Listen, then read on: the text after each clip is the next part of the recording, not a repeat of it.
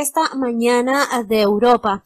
La Agencia de las Naciones Unidas para los Refugiados, la ACNUR, reveló que el número de personas desplazadas forzosamente superó, doctor Fernando, por primera vez en la historia las 100 millones de personas en todo el mundo. Esto obviamente jalonado por la invasión de Rusia a Ucrania, en donde más de 8 millones de personas han tenido que huir hacia otras zonas del país dentro de Ucrania y más de 6 millones de personas han pedido refugio cruzando las fronteras. Esto es casi la mitad de la población ucraniana, doctor Fernando de Mare, que contaba en 37 millones de habitantes antes de la invasión.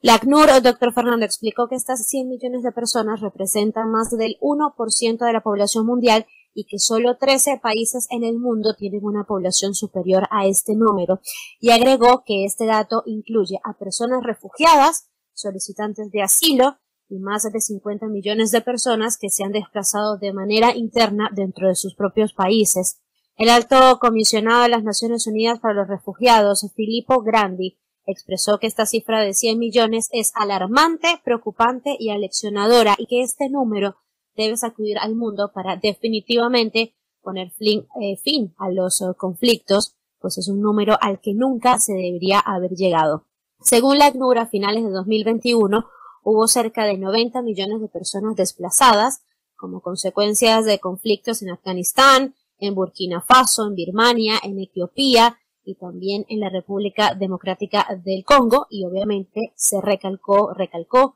el,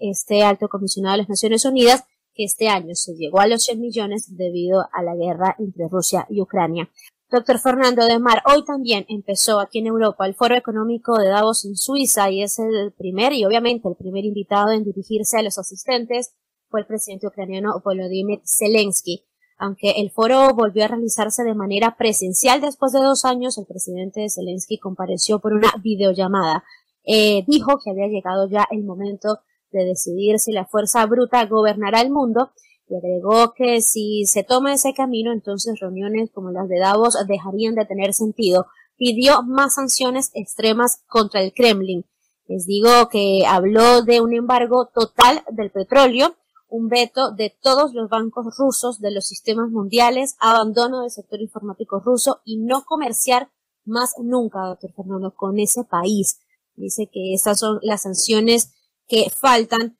para, bueno, que el Kremlin ya desista de su invasión en Rusia. Y desde Japón, doctor Fernando, también llegan noticias, pues el presidente estadounidense Joe Biden está de viaje oficial en ese país y en medio de una rueda de prensa ante medios de comunicación dijo que Estados Unidos está dispuesto a intervenir si China intenta invadir Taiwán y agregó que Rusia debe pagar un precio a largo plazo por el ataque lanzado contra Ucrania. Música